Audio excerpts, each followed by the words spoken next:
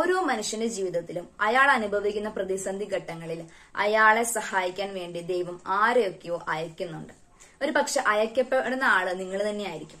എന്റെ ജീവിതത്തിലേക്ക് നിങ്ങളുടെ ജീവിതത്തിലേക്ക് നിങ്ങൾ അനുഭവിക്കുന്ന അരക്ഷിതാവസ്ഥകളിൽ പ്രശ്നങ്ങളിൽ നിങ്ങളെ സഹായിക്കാൻ വേണ്ടി ദൈവം ആരെയൊക്കെയോ അയക്കുന്നുണ്ട്. ഏതോ തരത്തിൽ നമ്മൾ അവരെ വരാനായിട്ട് അനുവദിക്കാത്തത് കൊണ്ടാണ് നമ്മുടെ ജീവിതത്തിൽ സൗഖ്യം വൈകുന്നത് ക്ഷമിക്ക് ക്ഷമിച്ചു കിട്ടാത്ത അവസ്ഥകൾ കുറയുന്നത് അങ്ങനെ പലതരം അരക്ഷിതാവസ്ഥ നിലനിൽക്കുന്നത്. ഇതൊരു പാർട്ടാണ്. പക്ഷെ നിങ്ങൾ അയക്കപ്പെടുന്നുണ്ട്.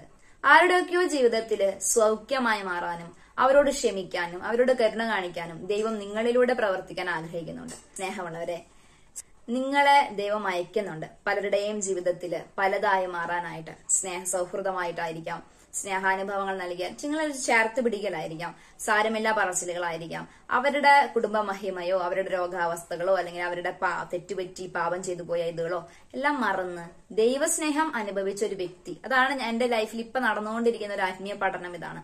അവരുടെ അടുത്തേക്ക് പോകണം അവരെ സ്നേഹിക്കുന്നുണ്ടെന്ന് പറയണം. അവരെ നിങ്ങൾ ചേർത്ത് നിർത്തണം. അവരെ റെസ്പെക്ട് ചെയ്യണം. അപ്പോൾ അവരുടെ മുറിവുകൾ ഉണങ്ങും. അവരുടെ മുറിവ് ഉണക്കേണ്ട ഉത്തരവാദിത്വം നമുക്കുണ്ട്. ദൈവത്തെ അനുഭവിച്ച എല്ലാവർക്കും ഉണ്ട്. ഇൻഡിവിജ്വൽ വ്യക്തിയാണ് ദൈവം നമ്മുടെ ജീവിതത്തിൽ ഇടപെടാൻ വേണ്ടി അയക്കുന്നത്. നിങ്ങൾ അയക്കപ്പെടുന്നു നിങ്ങളുടെ അടുത്തേക്ക് ആളുകൾ വന്ന് വരുന്നുണ്ട്. നിങ്ങൾ സൗഖ്യം നേടണം. മനുഷ്യരെ സ്നേഹിക്കണം. മനുഷ്യരെ പിടിക്കുന്നവരാക്കാന്ന് കർത്താവ് പറഞ്ഞില്ലേ? അതിതാണ്. മനുഷ്യരെ സ്നേഹിക്കുക. അവരെ മനസ്സിലാക്കുക. അവരോട് ക്ഷമിക്കുക.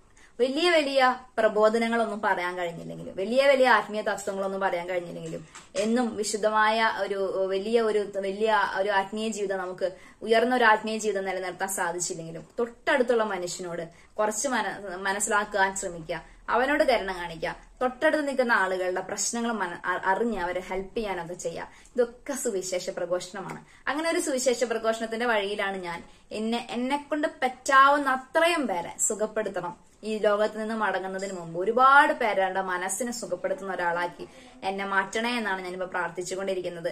നിങ്ങളും എനിക്ക് വേണ്ടി പ്രാർത്ഥിക്കുക. ദൈവം നിങ്ങളെ സമൃദ്ധമായിട്ട് അനുഗ്രഹിക്കട്ടെ. മനുഷ്യരെ പിടിക്കുന്നവരാകാൻ മനുഷ്യരോട് സ്നേഹത്തിന്റെ സുവിശേഷം പറയുന്നവരാകാൻ നിങ്ങൾക്ക് സാധിക്കട്ടെ എന്ന് പ്രാർത്ഥിക്കുന്നു.